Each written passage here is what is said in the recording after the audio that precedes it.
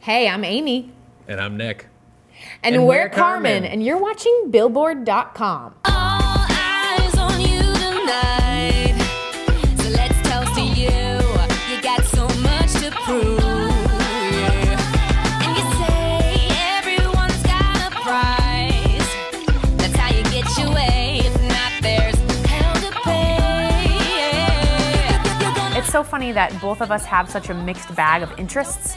So when we started making our music, it was like, well, we love urban hip hop music, but we have like this pop flavor. And then as far as fashion goes, we didn't want to do the normal hip hop thing because I'm obsessed with vintage everything. I mean, Nick was a t-shirt and baseball cap kind of guy.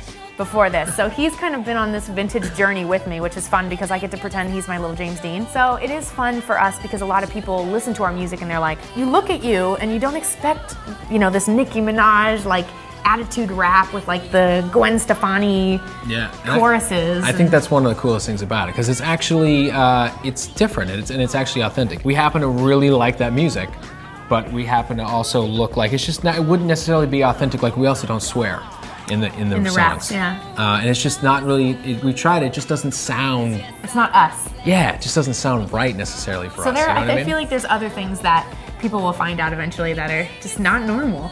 Yeah. we just we do things differently. Super S-T-A-R.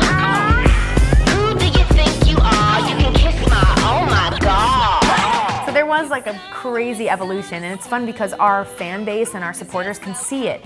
I mean, we started posting YouTube videos like two years ago almost, and you can see me experimenting with my hair. And actually, the the viral video, one of them that we had was "Look at Me Now," and in the video you can see the beginnings of the suicide roll. And I tried like this crazy thing where I do like a mohawk with just like buttons of hair, and I tried this other thing where I made like a bow out of my ponytail. And everything started because it was uh, Janelle Monáe inspired. Janelle Monáe right? inspires me for a lot of style, so that was a huge thing, discovering her. And Gwen Stefani's always inspired me fashion wise. And it's just kind of everything is changing too. Like there's a lot of guys like Wayne wears skater jeans Yeah, and stuff. Kanye was always known for his Exactly. preppiness. Drake too, always had his sweaters. Everyone talks about Drake's sweaters. You know what I mean? So it definitely, it's like it's evolving. We just want to keep encouraging people, not just our fans and stuff, but people in general to just be yourself. I mean, as cliche as that sounds, it's cool just to feel that support from people for just doing what we love to do. You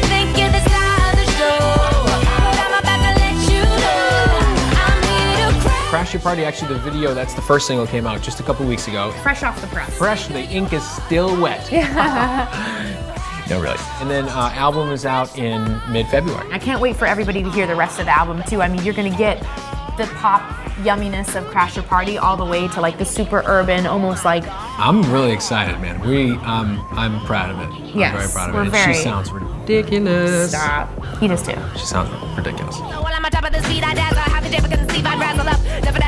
So I was like, oh, I don't like the politics behind diamonds.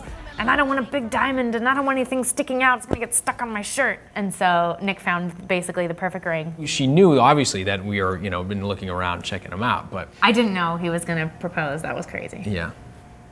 Waterworks. Every I was- time. I was really nervous actually. Yeah, he was. I've never seen him nervous in his life, and he was really nervous. He's Getting all cotton mouth and stuff. He thought I was gonna say sweating. no, which I did. But I just took the ring anyway. crash your